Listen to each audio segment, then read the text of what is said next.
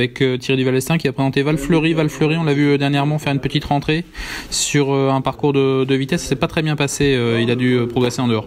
Ouais, exactement. Le cheval avait été plusieurs fois euh, éliminé, hein, donc il était resté plusieurs semaines sans courir.